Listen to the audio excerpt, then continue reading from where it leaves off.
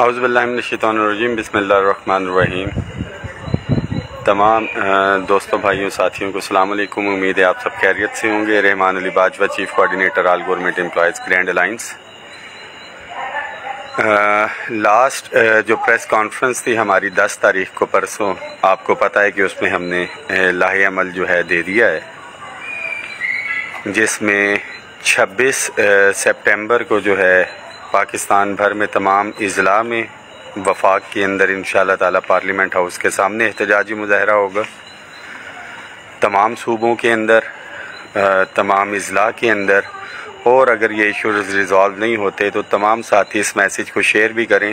چودہ اکتوبر دو ہزار چوبیس، جو اگلے مہینے کی چوبیس تاریخ ہے، اس مہینے کی چھبیس اور اکتوبر کی چودہ تاریخ کو انشاءاللہ تعالی پاکستان بھر سے ہماری کال ہے کہ ہم پارلیمنٹ ہاؤس کے سامنے بیٹھیں گے۔ چودہ اکتوبر کے حوالے سے بہت سے ساتھیوں کے سوالات ہوں گے کہ چودہ اکتوبر کی تاریخ کو جو ہے کیوں منتخب کیا گیا؟ ایک تو اس دن چھٹی نہیں ہے، دوسری یہ کہ آج سے چار سال ہو چکے ہیں، پے اینڈ پینشن کمیشن بنایا گیا تھا جو تنخواہوں میں تفریق کے خاتمے کے حوالے سے تھا۔ اور اس پے اینڈ پینشن کمیشن نے پینشن کے حوالے سے بھی سفارشات دی تھی، نئے آنے والے ملازمین کے حوالے سے، مگر جو حاضر سروس ملازمین ہیں، اس کے اوپر امپوز کیا جائے گا۔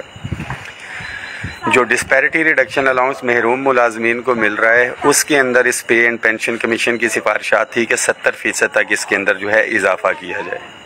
اس میسیج کو شیئر کریں، یہ ہر ملازم تک پہنچنا چاہیے کہ ایک سائٹ پہ تو پے اینڈ پینشن کمیشن کا نام استعمال کر کے ہمارے جو جائز آئینی حقوق ہے، عمر بھر کی جمع پونجی جو پینشن کے نام پہ اس کو عذف کیا جا رہا ہے۔ پیرل جہاں پہ ریلیف دینا ہے، اس میں house rent medical conveyance allowance کے اندر بھی سو فیصد اضافے کی سفارشات تھی back in two thousand twenty one, جو کہ ابھی جو ہے مہنگائی کے حوالے سے دو سو فیصد تک پہنچ چکا ہے۔ پنجاب کے اسکول جو ہیں، اس حوالے سے ہمارا جو ہے گرینڈ ٹیچر الائنس جو ہماری ٹیچر کمیونٹی تھی all government employees grand alliance میں ٹیچرز کے ایشوز کو لے کے گزشتہ روز انہوں نے احتجاج ریکارڈ کروایا بھرپور۔ چھبیس تاریخ کی انہوں نے آلریڈی اس حوالے سے کال دی ہوئی تھی اور all government employees grand alliance نے یہ ڈیسائیڈ کیا کہ آلریڈی ہمارے ساتھی موبلائز ہیں، تو پورے پاکستان میں جو ہے ہم ہماری all government employees grand alliance کی اب کال ہوگی۔ ہم اپنے تمام کمیونٹی جو ہے، اپنے جائز آئینی حقوق کے حوالے سے کھڑے ہوں گے۔ خواہ تنخواہوں میں تفریق کا ایشو ہے۔ House rent medical conveyance allowance میں جو ہے اضافہ ہے۔ ظالمانہ ٹیکسیز جو ہیں، جو سلیب سو فیصد تک بڑھائے گئے ہیں، وہ ہو۔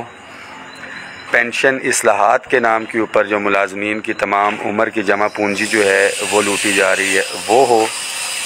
تمام daily wages contract at contingent ملازمین کی ریگولرائزیشن ہو۔ یا اس میں سکول یا اداروں کی نچکاری ہو۔ یہ وہ تمام ایشوز ہیں جس کے اوپر ہمیں اکٹھے ہو کے، یک زبان ہو کے نکلنا ہے۔ اور میں ایک دفعہ پھر سے یہ مطالبہ کرتا ہوں چیف منسٹر پنجاب محترمہ مریم نواز شریف صاحبہ سے کہ لیو انکیشمنٹ کے حوالے سے آپ نے ایک کمٹمنٹ کی ہوئی تھی۔ آلدو پتہ نہیں آپ تک ہماری آواز پہنچی یا نہیں پہنچی۔ وعدے کی پاسداری آپ کریں، ملازمین کے دل جیتے ہیں پنجاب کی عوام کی خدمت تو آپ کر رہے ہیں۔ پورا پنجاب یاد کر رہا ہے تو ملازمین کے اندر جو بے چینی پائی جا رہی ہے، ان ملازمین کو بے چینی کو دور کریں۔ بصورت دیگر جو جائز آئینی حق ہے، ملازمین اس کے لیے جو ہے، چھبیس تاریخ کو پورے پاکستان میں، پنجاب میں بھی احتجاج کریں گے اور چودہ اکتوبر کو پاکستان بھر سے ملازمین جو ہے، پارلیمنٹ ہاؤس کے سامنے آ کے بیٹھ رہے ہیں اس میسیج کو تمام ساتھی شیئر بھی کر دیں۔ آپ سے وعدہ ہے کہ ان شاء اللہ تعالیٰ آپ کے حقوق کے اوپر کسی بھی قسم کا سمجھوتا نہیں ہوگا۔ ہائرنگ کے حوالے سے ساتھی پوچھ رہے ہیں پی ڈبلیو ڈی کو اس کی اسیسمنٹ کے لیے بھیجا گیا تھا۔ جو کہ پی ڈبلیو ڈی کی بندش اور اس کے حوالے سے ابھی ہائرنگ کا جو کیس ہے اسٹیٹ آفس کو اسیسمنٹ کے لیے اور اس کے اوپر آئے گا۔ تو یہ تمام کولیکٹیو ایشوز ہیں جس کے لیے ہمیں نکلنا ہے۔ منیمم ویجز پچاس ہزار کا مطالبہ ہے۔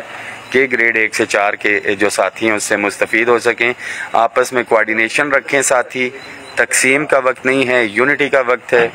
اور میں اس وقت حمزہ بھائی آگے ہیں۔ حمزہ بھائی کیا حال ہے؟ خیریت سے؟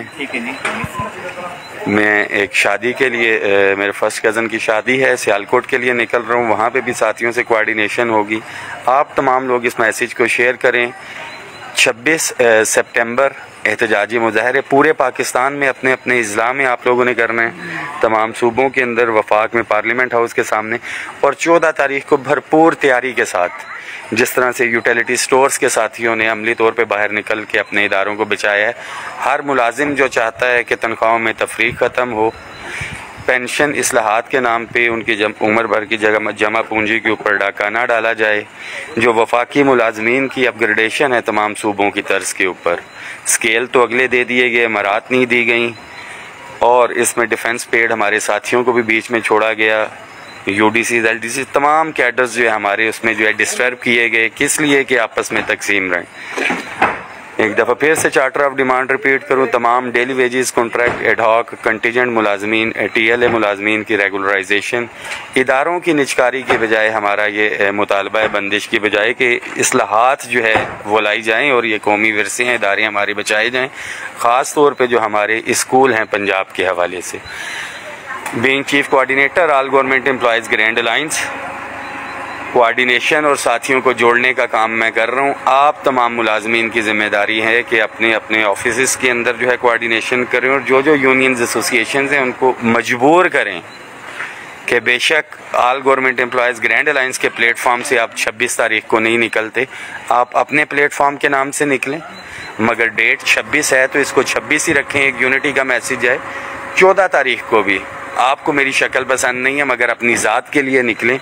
پارلیمنٹ ہاؤس کے سامنے پہنچے۔ ان شاء اللہ تعالیٰ پرامن رہتے ہوئے، غیر سیاسی رہتے ہوئے ہم جو ہمارے جائز آئینی مطالبات ہیں ان شاء اللہ تعالیٰ ہم ان کو جو ہے ضرور پورا کروائیں گے۔ بہت شکریہ۔